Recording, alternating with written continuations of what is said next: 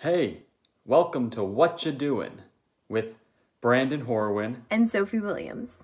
And today's special guest is Hi, everybody. I am Sydney Beers. Um, I graduated from Catholic U, um, probably before you all born. No, I'm kidding. Um, uh, in 92. Um, I currently work at Roundabout Theater Company uh, in New York City, and I'm the executive producer there. And I reside in New York City um, with my husband and my son. Excellent. Well, we are thrilled to have you on. Welcome to Whatcha Doin'. And thank you for joining us today. It's really a thrill to have you. Well, thanks for Um, having me. So I just want to start out by asking you a little bit about your journey, uh, you know, with theater, um, and if you could kind of um, give us an account of, you know, how it all started and where it led you to today. Okay. Um, well, theater for me started at a very, very young age. Um, I would say second grade. Um, I decided that I was going to be very famous, a very famous actress. and that is, as you can see, taking flight. Um, and that uh, I can remember in second grade, I told my mom that it, I was going to produce a show.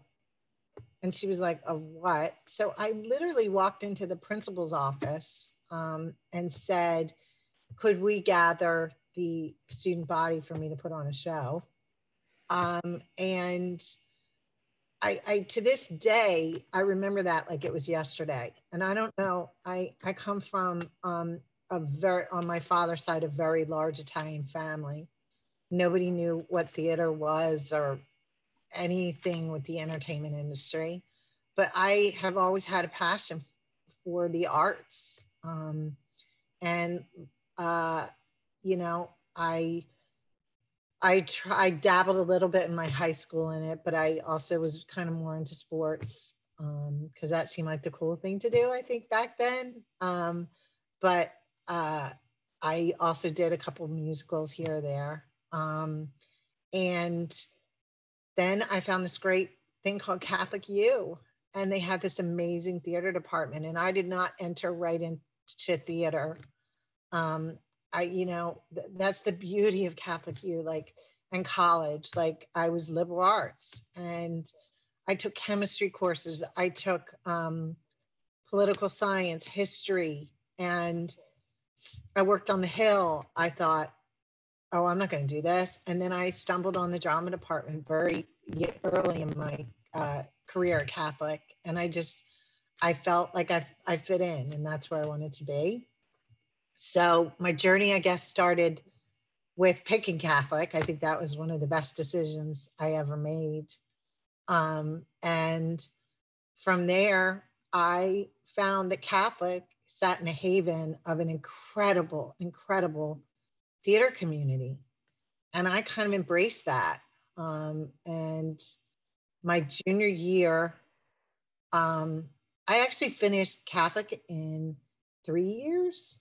Um, I, I was always supposed to graduate in 92, but I finished my coursework. Um, I think I had one credit to take that first semester of my senior year, but I stayed involved in Catholic and I walked with my class and all that. But I got it, I worked at the Shakespeare Theater. And I can't stress enough if you are a theater major at Catholic right now. I know right now is crazy and we can't even, you know, there's, but at the time of pre COVID, um, I walked into the Shakespeare Theater and I said, I want to do an internship. And I was lucky enough um, to be a part of, of the Shakespeare Theater. And then from there, I I was in a couple shows at the Shakespeare Theater as an understudy. Um, and opening night, and I swear I was nowhere to be found. The girl, one of the girls I was understudying, fell down the steps. It is not funny. She's fine. She's, but they called me without rehearsal to go on. And I'll never forget, it was Kelly McGillis and Measure for Measure. And I thought, what the? And on I went. Um, and they threw costumes on me. Um, and that was that was my se- that was my senior year at Catholic, and so that was it. That I was I was hooked. Um, and so that that was just the start of my career. And if I wasn't on stage, um, somebody told me, um, I, I don't know if it was Gail, um, I don't, Gail Beach, but like always keep your hands in theater. Like always make sure, like if your passion is on stage, do it. Like, but keep your hand in theater. So I, anybody who would hire me to do anything. So then I went to the Walnut and literally answered. I worked in the subscription office and I worked in the subscription office also at the Shakespeare Theater when I wasn't on stage. And I just, so I figured out if I learned all the ticketing systems of all these theaters, you would have to hire me at some point. I worked in mail rooms and things, things to, to help me know more about the theater and the structure of it. Um, and then I got accepted to this program at Oxford while I was at the at the Walnut Street, and my family was not crazy about me doing theater, and they pretty much said, "Well, you're going to have to pay for it." And I was like, "You pay for it?" So, and I I had five jobs. I waitressed at a place in Wilmington, Delaware, where I was from at the time. I worked at the Shakespeare, or I worked at the Walnut Street Theater. I house managed at American Theater Festival, I think it's called. It's not there anymore.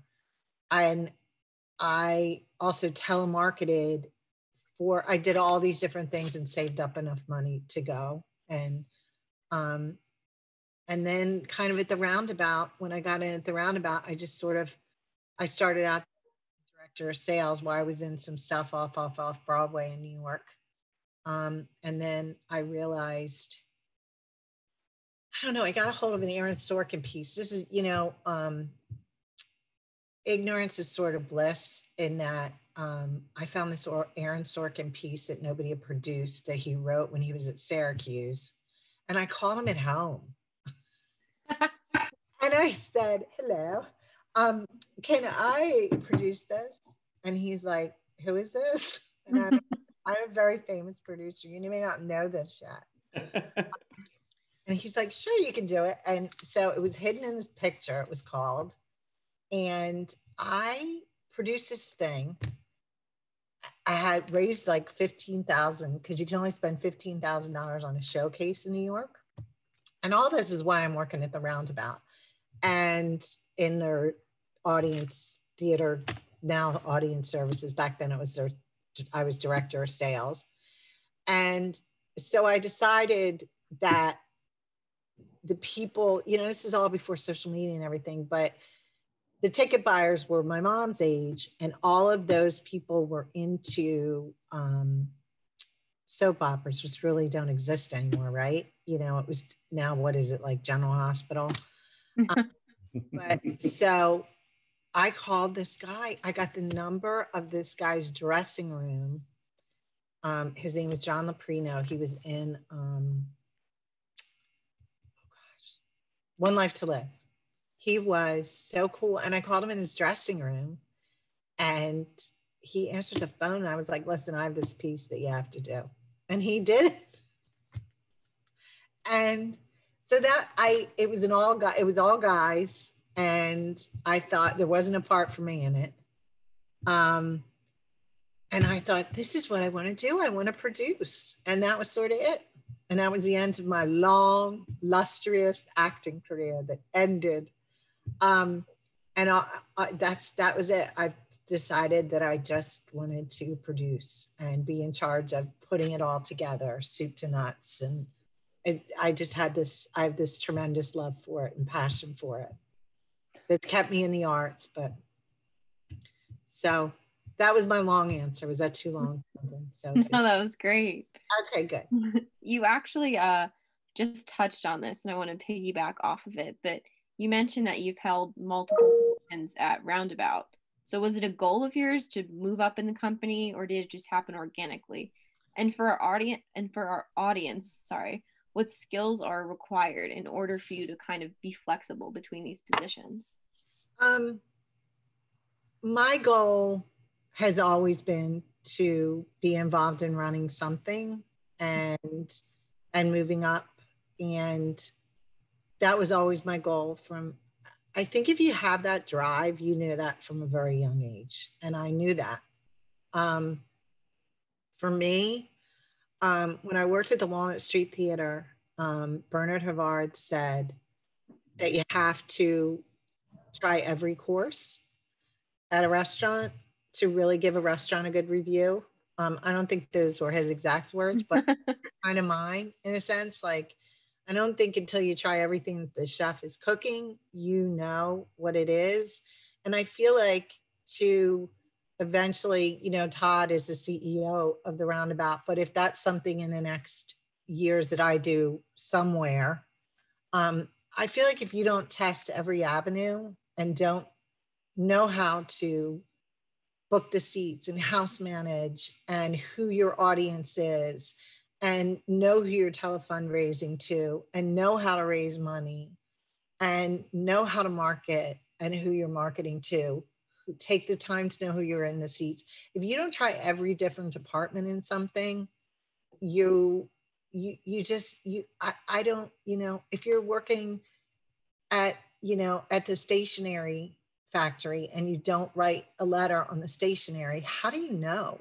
Yeah. And so I feel like that for me um, was sort of strategic. Um, I don't know how I strategically knew that at my age, but I did. And um, I I also, when I deal with actors now, what little time that I did have on stage, I totally know what that's like and that it you need a village to get yourself onto stage. I mean, between nerves, between the thousand people you're playing to, it's it's not TV is take a take and 20 and film 82 takes. What we feel that day when we wake up and who we are at eight o'clock is what everybody's gonna see. And so there it takes a village to support that kind of art and to to make sure like if somebody's sick and what that means and how like to really have a human nature about it and care about people so that's great so um, your current position and title is executive director of roundabout theater company producer. in new york city producer, producer. i'm sorry producer okay. um, we, have, we have an executive director so gotcha um, so can you take us through the duties and responsibilities of that role um, and sort of, you know, coupled with that, you know, what appealed, like, so what appealed to you to the business side of arts administration and theater? And are you fulfilling those dreams and goals now in that role? Um, okay. So there's a, a pre post COVID, right? I guess yeah.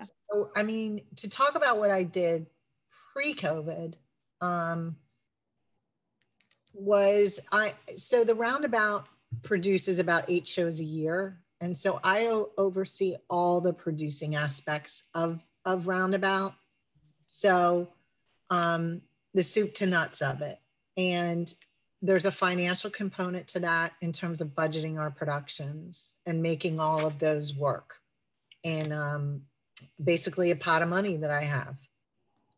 Um, so, so all the intricacies of getting stuff from pages to the stage was sort of what I was in charge of.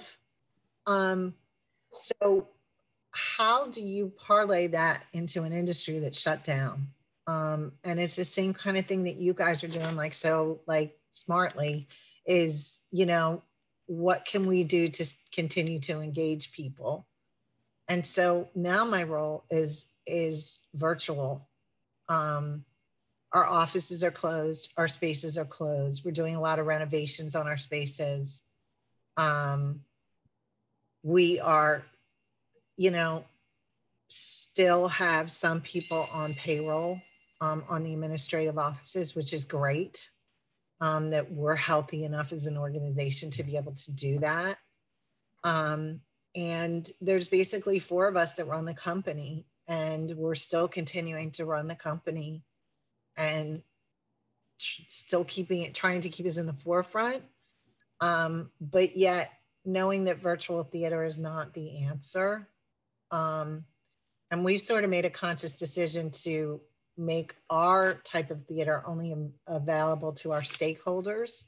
So we haven't exactly um, advertised it, so to speak, because you know it, it, we're just trying to keep our stakeholders, subscribers, donors engaged as opposed to the rest of the world, because that's not what we do. Film isn't what we do. Um, although we have, you know, I have been involved in recording some stuff for Broadway HD in the past. Um, and we're doing some archival streams within the organization of, of stuff that we've already done. But, um, you know, keeping, so that's sort of my post COVID life is figuring out, you know, right now I'm in the throes of uh, we usually have a 700 person gala that we fundraise for, which I produce that aspect of it, of of the gala. Are we going to be able to do that? You know, that's usually March 1st. Um, so we're probably we've already shifted it to June, and we're looking at an outdoor venue. But even then, are we all going to be able? Are 700 people going to be able to gather together? So, am I producing a virtual gala? Oh my God you know, this has been a really hard time. Yeah. And the thing is, is it's it's not just on one person that it's a hard time. It's on the world, you know? Um so and the other thing is I, I sit on a couple different committees about the reopening of theater as an industry and how what does that mean you know? A lot of people i think are criticizing us that we haven't opened yet. Like why aren't we socially distancing the seats? Why aren't 200 people allowed in and you're figuring out how to do that? And you know there's 52 broadway theaters um, 42 were activate you know we were active. I think 42 of us were active with shows. There's just no way the model does not allow for it to happen even if we ask people to take ma- massive pay cuts. It costs so much money to run a show. And part of the experience is that you're sitting next to somebody enjoying a live performance and you don't know who they are, you know, and where they're from and and and you know that whole magic of the people on stage versus who you're who out what other thousand people you're enjoying the uh, live performance with so yeah, I think it's really important. Like, we're so grateful to have you on for this is really a special episode because it is so important for folks to hear what is going on behind the scenes, you know, um, and to understand the conversations that are happening at the moment and how much of a, of a shift it really is for folks like yourself that are that you know normally had a, a a job of making it happen on stage and you knew darn well how to do that day in and day out. But at this point it really is um, still a, a, a big challenge to adapt and and look forward. It's like I'm, I'm glad you brought to our attention something like a gala that's like imperative to fundraising for a company yeah. like roundabout. And the fact that it, you know that like how do you shift that to um, a new norm per se for the moment? So we do you know we've done some cre- some out of the box thinking you know which takes a village again um, but we we reached out to a bunch of people who have worked at the roundabout before and in this uh, in the fall we auctioned off private zooms with like liam neeson and you know people um, Vanessa Williams, people who are part of the Roundabout family, so to speak. Um, a couple weeks ago, Jane Krakowski and I did um, a trivia night for our donors. Um, and it was like this whole theater trivia thing. Um, so it's all, it's this constant reinvention. Like we revisited Violet, um, the musical with Sutton Foster and Josh Henry, and just did snippets of B-roll from it, and um, had Jeanine Tesori there, and our director at the uh, who did the piece, Leigh Silverman. So I mean, like, it's these it's these crazy one-offs that you never it's this total reinvention um that you kind of have to to think about doing um and then you also have to think about you know the roundabout employs so many people and we had to lay so many people off. It was it was heartbreaking um of the people who you know all our stagehands from our stagehands to our front of house theater staff ushers box office um, company managers state you know all those people are out of work. And i don't i don't think i don't think the world gets what new york was and what broadway theater was. And we were we were like a huge part of the industry or the the revenue of new york city um, with restaurants too. I mean it, it's sad you know i uh, i can't wait for us to reopen to get everybody back to work, you know. Yeah, uh, while we're on that same note, and and I had this farther down, but I think it really is good to sort of put it on a positive note now based on what you know the committees that you stated that you're sitting on and you know conversations amongst the company uh, and the industry at large where do you predict that it goes from here? Do you have a time frame that you think you know it may be? Um, you know now you know with vaccines rolling out and you know that kind of schedule being in place and and things like that. I mean, so the the last thing I think we have excellent leadership um, in Governor Cuomo, and that has really helped us. So the last conversation with him, uh, you know, with the Broadway leg, which I wasn't, um, is it is is tickets. You can get a refund for tickets through May 30th, basically. So the hope is June 1st. As an institution, because we have subscribers, we got to the point because we're just not dependent on single ticket sales. We're dependent on donors and all different things to run an actual company. We made the decision to move everything to the fall, which we've already done. So this way we don't hear. So basically, right now, I would be producing something to start in June. Like I would be actively building things and sets and costumes. So we felt safer to hear and have to convey yet again that we're not, this isn't happening. To actually say, you know what, we're going to wait till the fall. So, you know, if you look at this rollout and what does this rollout mean? There's a couple things that haven't been answered yet. How long does this vaccine last? Do we know that? Um, is it a mandatory vaccine? Is it not a mandatory vaccine? Can we legally say to our audience members, you can't come to our theater without one? Um, you know, is that going to happen in Catholic University? You can't come back to school unless you have a vaccine. Um, so, you know, 18 or over, is the vaccine safe for anybody 18 or over yet? Like, are you know so there's so many unknown factors that we've decided to plan out to what we think is the farthest out factor. Do i think there's going to be theater in new york? I think there is this summer hopefully knock on wood. Um, i think that it might be your hit shows you know your hamiltons um, but so then you break it down and your hamiltons are you know, catering to um, an international audience at this point, right? And or way out of town, not a New York based audience. So, how do you know if the person that you're sitting next to from France, I'm making this up, is vaccinated or not?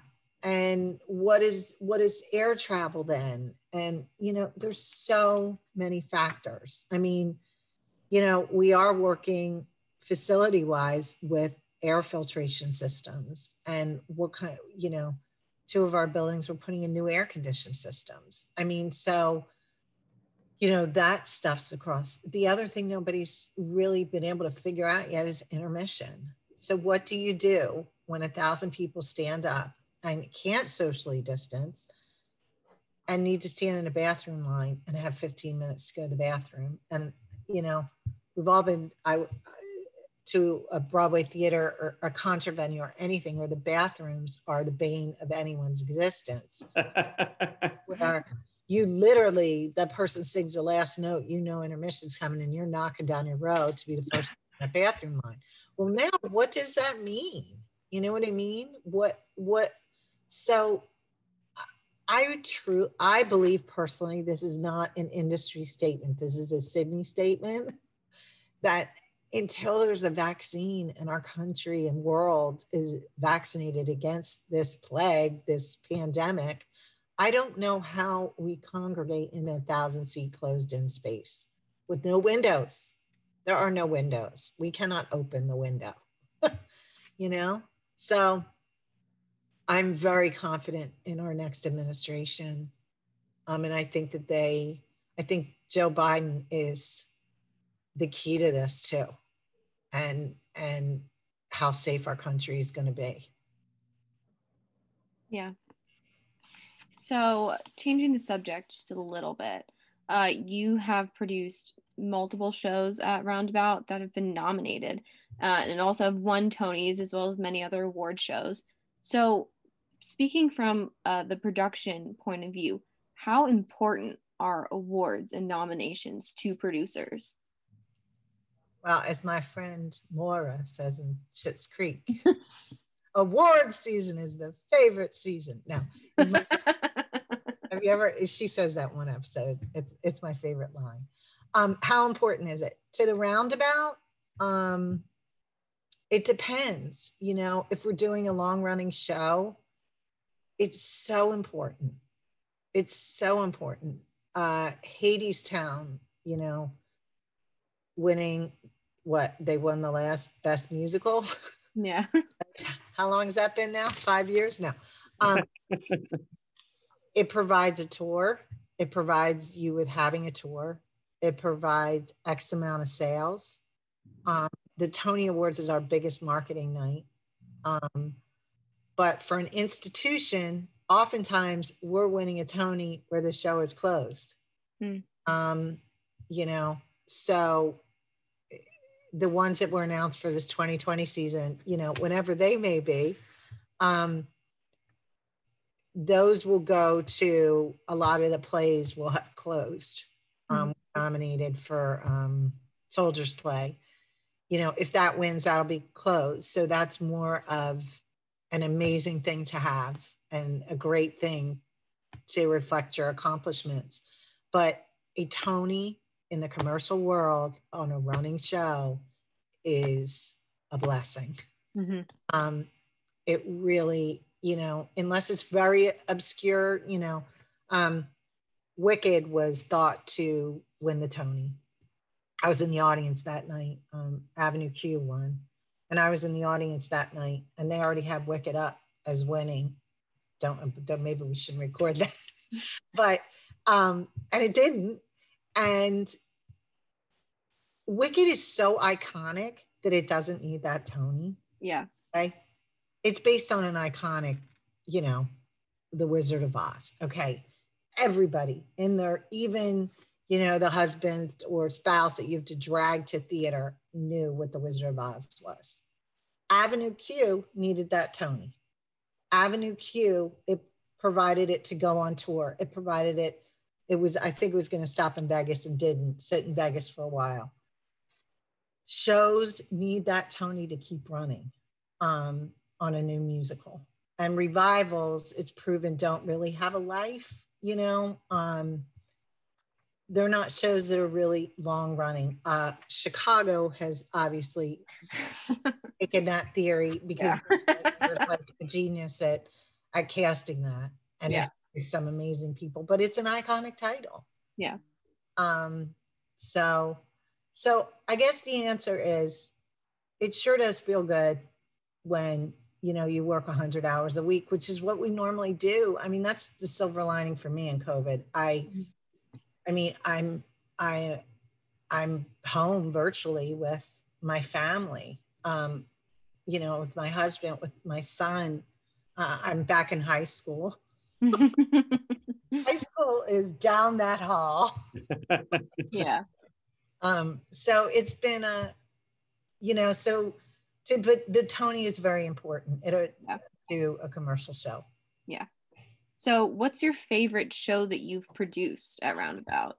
Can you pick one? you know, it's hard. It's like, who's your favorite child? Who's your favorite? like, I mean, I, I, I'm, I'm blessed with only one, so that's pretty easy for me. um, there, I have seriously loved every single show I've worked on. Mm-hmm. There's some special, special parts.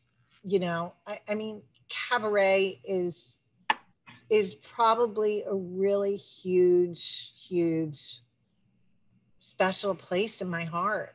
Mm-hmm. Um, I think that what Sam um, did when he directed it, he changed theater. And I sit and watch um, so many shows now where um, actors are the musicians, and I think, oh, we did that. Um, well, he yeah. uh, smart enough to say, do it here. Um, and I think I kind of really got my chops set on that one and mm-hmm. learned so much. I mean, I was the general manager of Cabaret. I was 26 years old the first time. I mm-hmm. didn't I didn't know what I was doing. Um, but I figured it out. Um, and I I really um, I, I don't know. I guess there's so there's definitely and we had a lot of things happen. I don't even I, I don't know if you want to hear this anecdote, but in 1998, July of 98, a crane fell on the Condé Nast building. I don't know if you guys have ever heard this story. Have you ever heard this? I don't think so, no.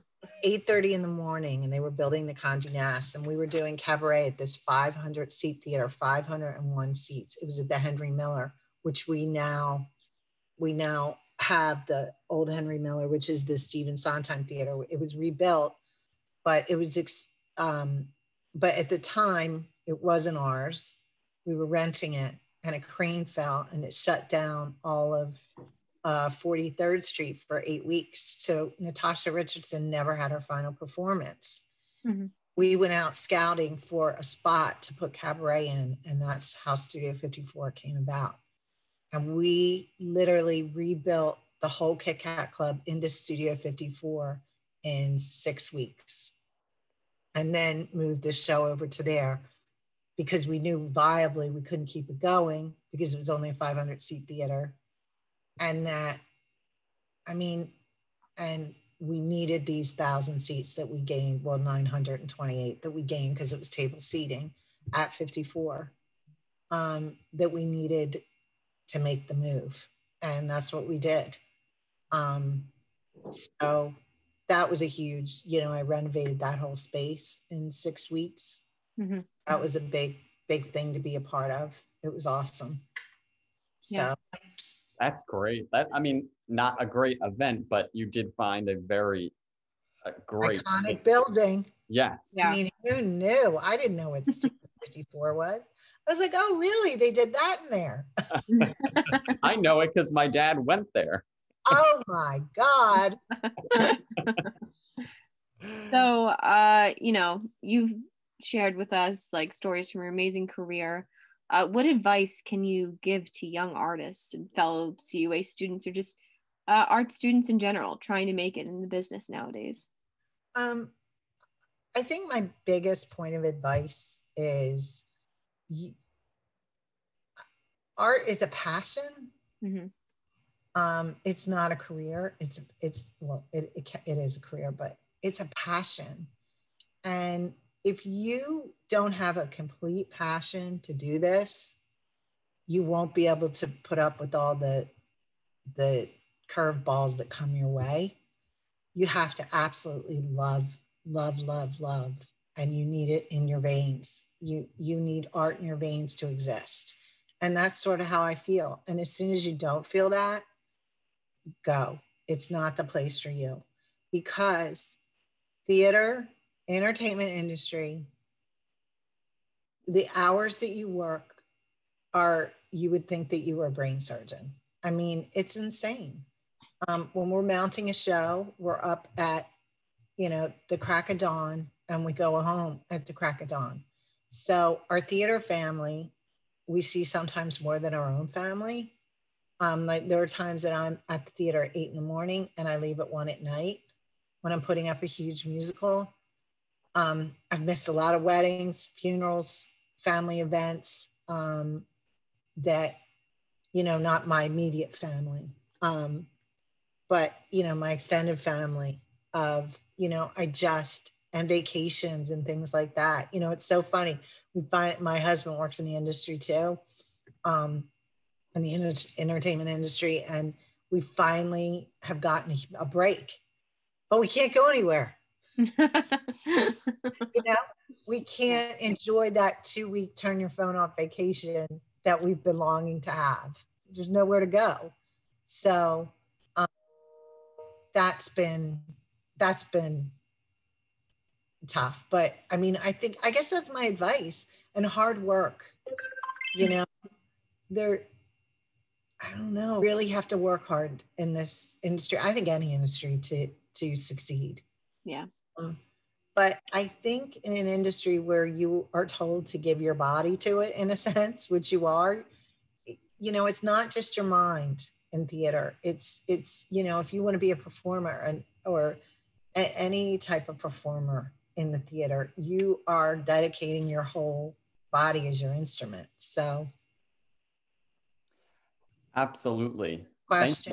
Thank, thank you for that that advice. Um, so we've asked you about your favorite show, but just before we wrap up, I'd like love to know if there is one particular person, um, star or person that you've worked with that you had just loved working with for whatever reason that you would like to share. Oh my God, there's so many. I mean, of course, my first husband, Antonio Banderas. No, I'm kidding. um, uh, you know, I'm blessed to like work with everybody. Like I have the best, you know, the head of the roundabout, Todd Haimes. He's the the best of the best. So right there, right there, I hit the lottery.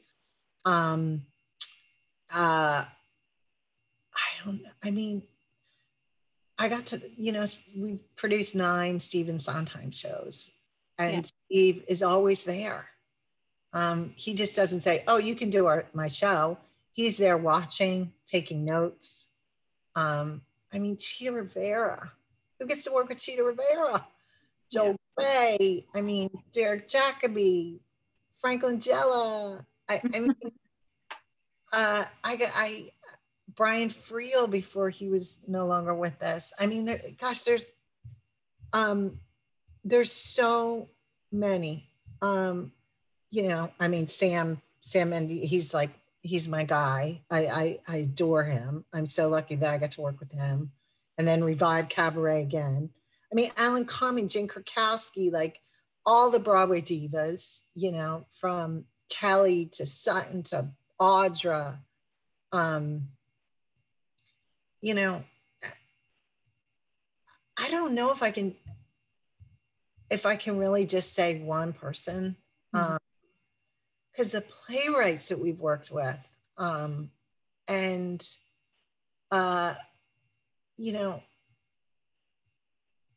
I, I, I you know alfred molina i think like i get to work with him i think he's one of the most gifted talented like him and frank langella are like wow um, you know phylicia rashad we did a musical with her i mean there's so many we just did soldiers play Mm-hmm. And, um, you know, David Alan Grier and Blair Underwood and, uh, you know, just so, so many, so many, so many people. I know, I, I mean, I, you know, I don't know. I, am John Stamos. He's, he's become a, a he, he was, he was, he's on like three of our shows. He was like, uh, he's, you know, you guys know him as Uncle Jesse, but I don't know there's there's so Jessica Lange Um, We just did something with Marisa Tomei. Um, I don't know. I mean, Gabriel Byrne. I mean, there's so. You guys really oh. have a, a, repertoire of some of like the most talented folks that hit. Annette. We just work with Annette Bening. It works with yeah. Annette Bening? Yeah. Jessica Lange in oh. Long Day's Journey into the Night was one of into night is one of the most incredible performances on the stage. She really was like remarkable. And she's a remarkable human.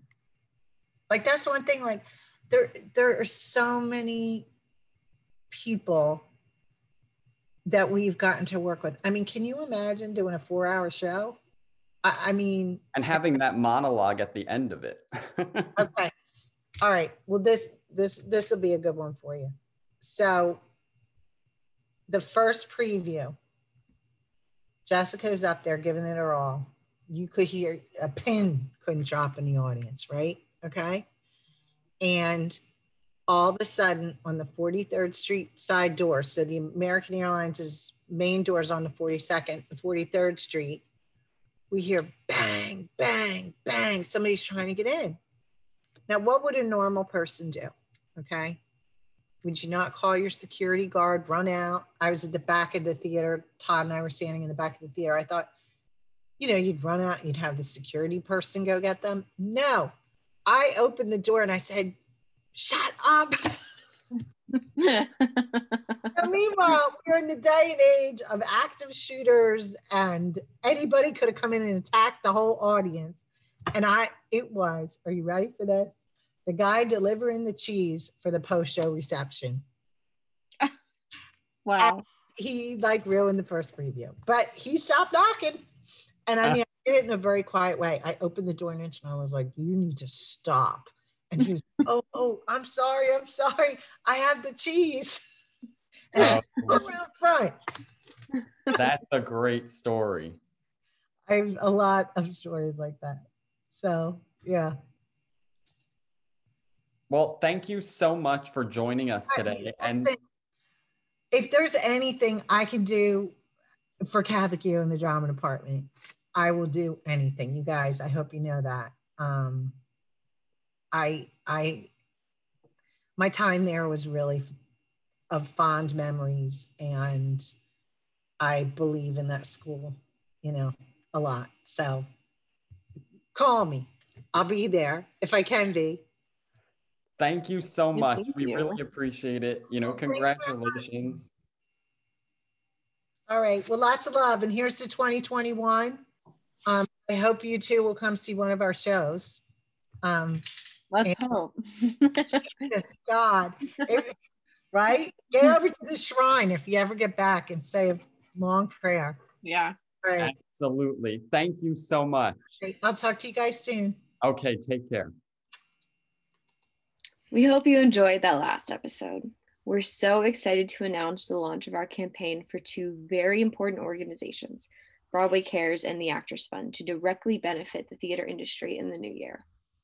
With the inspiration and initiation from Broadway's Caesar Samayoa and De'Lon Grant of Come From Away, we will now be accepting donations to our company Venmo, which is at Whatcha Doin' Podcast for the near future to split the donations between those two worthy organizations. And from there, we will be doing a big monthly donation to each organization on behalf of our podcast and its guests. We hope you can see it in your heart at this time to spare whatever you can. A dollar goes a long way right now, and it's all to help an industry that has given us all so much.